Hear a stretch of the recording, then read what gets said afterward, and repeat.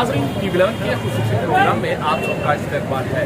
नाजरीन, हम आज पहुँचे हैं हैदराबाद के शहर नामपल्ली के पास, जो मशहूर और मारूफ बेकरी सुबहान बेकरी जिस तरह से हैदराबाद की पहचान चार मिला है, उसी तरह से बेकरी का अक्सर नाम लिया जाता है। सुबहान बेकरी जहाँ पर हर किस्म की बेकरी के दस्तियाब होते हैं और साथ में मुहर्रम के वक्त यहाँ पर लोग काफ़ी मज़ेदार होते हैं। इसकी खरीदारी करने के लिए शहर हैदराबाद के साथ साथ सिकंदराबाद और तेलंगाना, आंध्र प्रदेश, कर्नाटक, महाराष्ट्र से लोग यहाँ पर खरीदारी करने के लिए आते थे तो नाजरीन, हम आपको और फिगर भी इसके तफसीत बताएँगे। इस सुबहान बेकरी को जो आज इस हाल तक इस मंजिल तक लाया है और इसकी शुरुआत कैसी हुई है, हम इसके भी तफसीत आपको बताएँगे। सन 1948 में सुबहान बेकरी की शुरुआत हुई थी और ये बहुत ही छोटी बेकरी से शुरू हुई थी। आज अलहमदिल्ला अल्लाह के से हैदराबाद में नहीं, बल्कि दुनिया के कोने कोने में सुबहान बेकरी मशहूर हो चुकी है। सुबहान बेकरी के बिस्किट्स हो या पफ्स हो या सुबहान बेकरी के रोल हो, खरीदारी करने के लिए अक्सर लोग यहाँ से हिंदुस्तान से Saudi Arab, America, US states को भेजते हैं, क्योंकि यहाँ पर मुहर्रम के वक्त अक्सर रोड की खरीदारी करते हैं।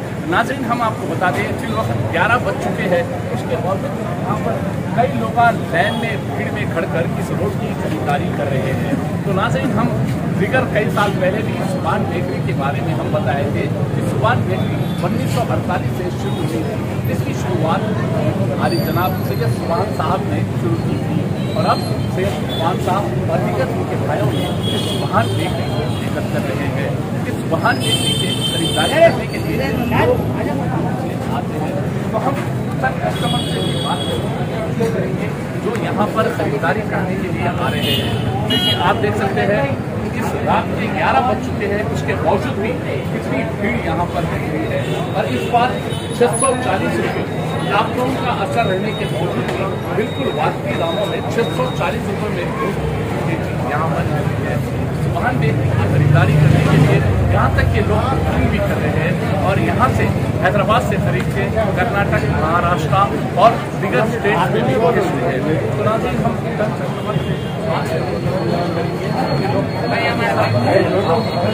सर बताइए आप खाने के लिए पहली बार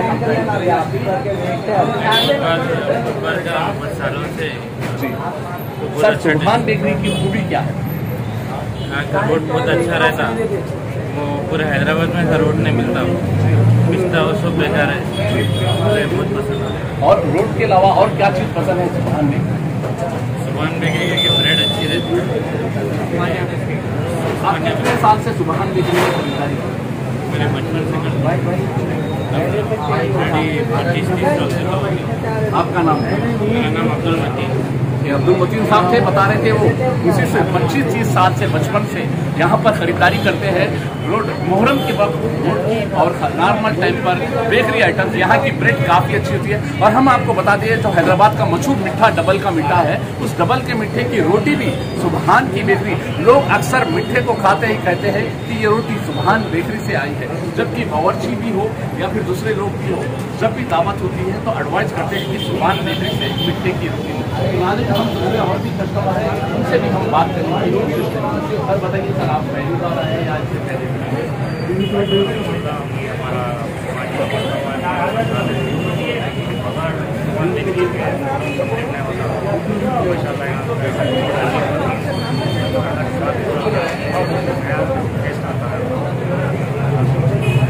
सर और मतलब खाने की और दुनिया क्या है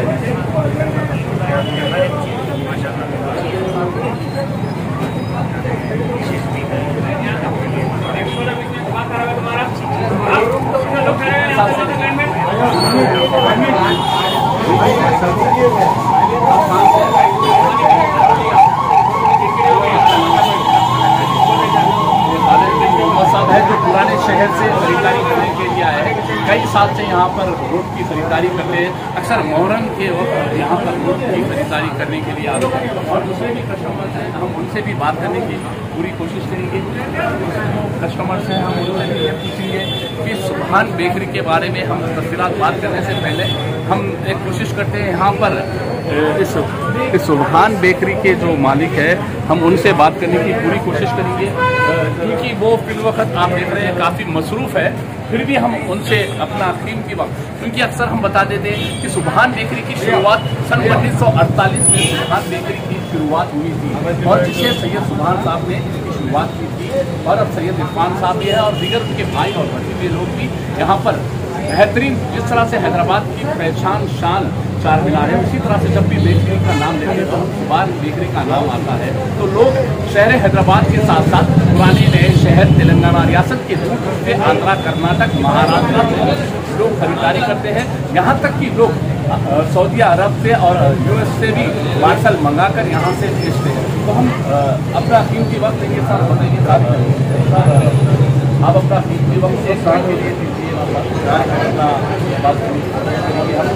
बताइए बेकरी रिस्पॉन्स बहुत अच्छा। और सर उसमें सुबहान बेकरी की स्पेशलिटी क्या है? सर इतनी भीड़ है देखिए हमारे के रोल है काफ़ी सर कहाँ कहाँ से कस्टमर ज़्यादा आते हैं?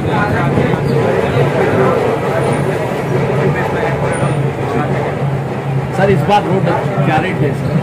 छः सौ चालीस रुपये किलो है सर ऑनलाइन सर्विस भी आपने शुरुआत हाँ। है ऑनलाइन आपका नाम बोलिए बहुत बहुत शुक्रिया।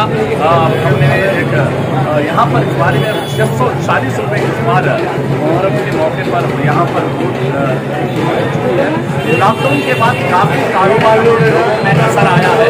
मगर सुबहान बेकरी अलहमदिल्ला आज भी सुबहान बेकरी के चाहने वाले यहाँ पर खरीदारी करने के लिए आते हैं और खरीदारी नाजिर अब हम छोटा सा ब्रेक और आप देखते रहिए टीवी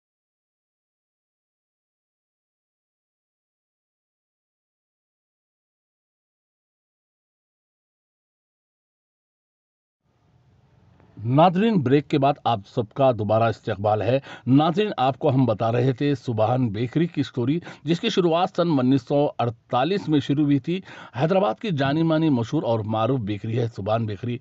तो नाजरीन, अब करीब 11 से 12 बज रहे हैं, इतनी रात में भी। आप देख सकते हैं, बाहर हम बता रहे थे कितनी सारी भीड़ थी और अंदर भी आप माशाला देख रहे थे कितनी सारी भीड़ है। तो नाजरीन, ख़ास करके मुहर्रम के वक्त यहाँ के रोड जो है काफ़ी मशहूर है और इस बात 140 रुपये इसकी कीमत किलो लगाई गई है।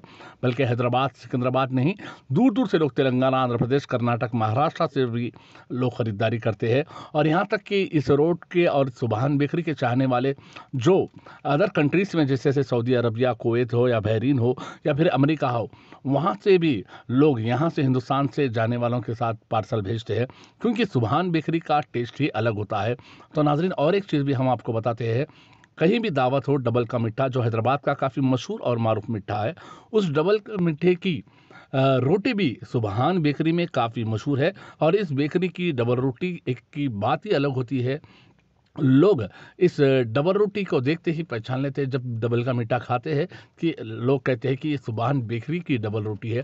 क्योंकि सुबहान बेकरी में अक्सर डबल के मीठे के लिए रोटी, बेहतरीन रोटी है और ड्राई फ्रूट्स बिस्किट, उस्मानिया, खारे बिस्किट के साथ साथ दूसरे सारे केक्स भी है और ख़ास करके मुहर्रम के मौके पर यहाँ पर रोड बनाई जाती है और यहाँ के बिस्किट भी काफ़ी उम्दा रहते तो नाजरीन, ये था आज का खसूसी प्रोग्राम। हम आपको बता रहे थे सुबहान बेकरी से और हिंदी, तेलुगु, उर्दू न्यूज़ का सिलसिला जारी रहेगा और इसके साथ साथ पॉलिटिकल पंच क्राइम न्यूज़ के लिए आप देखते रहिए टीवी लेवल तो नाजरीन, ये था मुहर्रम के मौके पर आज का खसूसी प्रोग्राम सुबहान बेकरी से और आप देखते रहिए TV eleven news.